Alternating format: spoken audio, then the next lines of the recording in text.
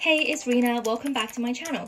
Today I'm going to be unboxing a couple of keyboards and sharing my initial impressions on each of them. If you're new to my channel, I make videos on digital planning and related accessories, so subscribe to my channel for more of this content. I use Bluetooth keyboards for digital planning on my iPad and Samsung tablet, and I seem to keep buying them, so now I have a small collection going.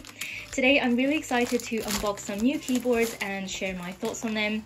So this first one I have had my eye on for some time, but I was kind of on the fence about whether to get it due to the price tag. So I was really excited when the company Knewkey offered to send me a sample for promotional purposes.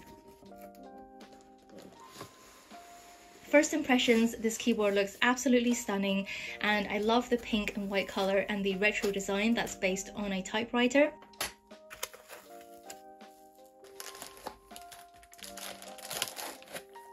It is however lighter than I expected and the plastic body doesn't feel quite as premium as I was expecting just based on the price tag. Judging it on appearances though, I'd say this is the most beautiful keyboard I've ever seen and I also really love the blue backlighting. I put my 12.9 inch iPad Pro on it and you can see it's not very stable since the body is quite light. My iPad is an older model though, so I'm thinking the newer, thinner iPads will do better. I took off the iPad case and that did help, but the backrest is still fairly wobbly as you can see. Next, I'm testing it out in my digital planner and I'm just dropping in some reminders for the upcoming month. By the way, I have it plugged in just because I decided to use it straight out of the box, but it has a built-in battery and once charged, you don't need the cable. It's connecting to the iPad via Bluetooth and it was really easy to set up and you can also connect other devices using the USB cable. So I will let you hear more of the typing sound later without me speaking, but I personally like the clicky typing sound of the blue switches as it mimics the sound of a real typewriter, which I think is really fun, but it can be fairly loud. The backlighting looks amazing in the dark and it has different brightness levels and light effects which I had fun trying out.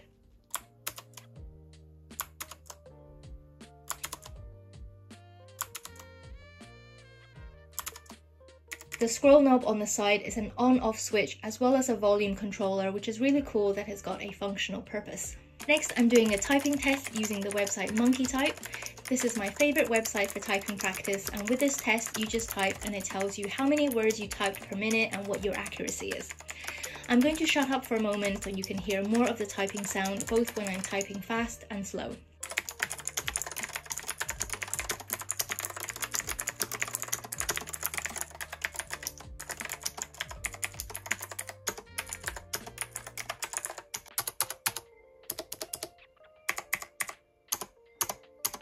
This keyboard is compatible with iOS, Android, Mac OS and Windows, so I'm also testing out with my Samsung tablet. It was also really easy to set up, but once again I had the same issue with the backrest. The tablet didn't sit on it snugly and it was also a bit wobbly.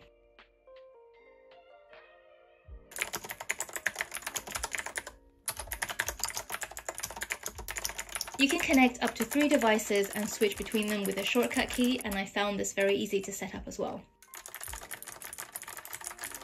Overall, I love this keyboard for the aesthetic design and the clicky keys. I think it's just a really fun keyboard to use and makes typing kind of a new experience. I definitely see myself using this one a lot, but it's not without its flaws. I love to see an improved backrest and a heavier body, considering the pricing is towards the premium end. This next keyboard I purchased on Amazon during a sale and once again I've had my eye on this one for some time. I live in the UK so this is the UK version of the keyboard. The US version is called Ubotie and I'll link to that one instead as I guess more of you guys watching are from the US. It comes with some cute stickers and a dusting brush which is really useful. I love the design of this keyboard and the pastel colored keys. I think the pinks, peach and purple colors go really well together. This is not a mechanical keyboard and the pricing reflects that.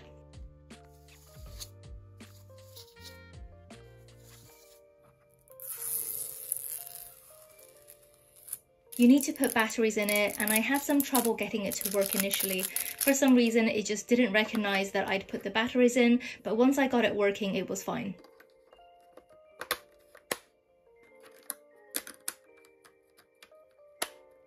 I'm testing it out in my digital planner and I think it types pretty well and I largely like the sound of the keys. I'm not a fan of how the space key sounds and that's a common issue in these types of keyboards.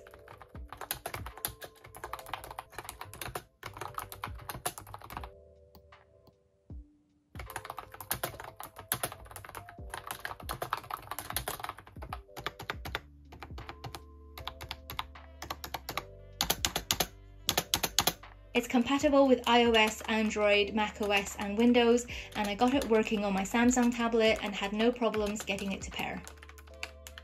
So I noticed what looks like shortcut keys for switching between devices, so I tried to do it, but it didn't work. And looking at their Amazon listing page, it doesn't mention being able to switch between devices, so I'm not sure this is possible.